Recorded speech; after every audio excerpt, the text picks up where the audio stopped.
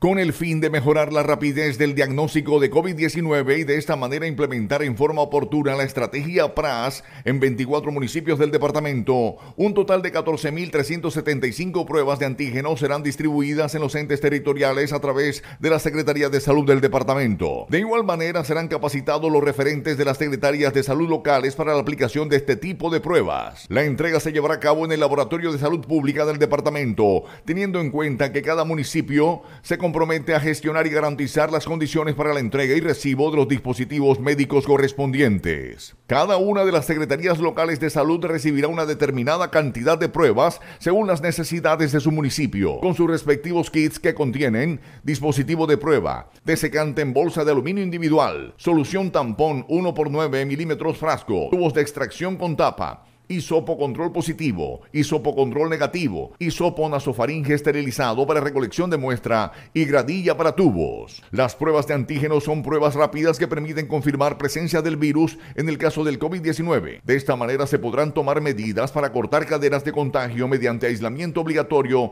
de casos positivos y serán de gran ayuda en los municipios porque no tienen cómo realizar PCR y tienen que esperar 72 horas o más para tener los reportes, precisó el secretario de Salud Hernán Vaquero Rodríguez.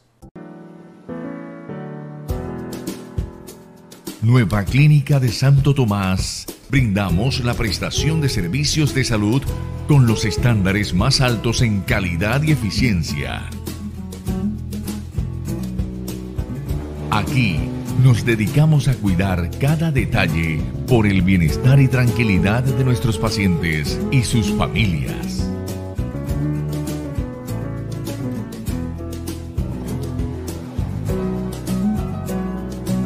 Comprometidos en entregar seguridad, confianza y tranquilidad. Urgencias 24 horas. Contamos con unidades de cuidados intensivos, salas de cirugía, salas de parto, hospitalización, consulta externa. Carrera 10, número 13C109, Valledupar, Cesar.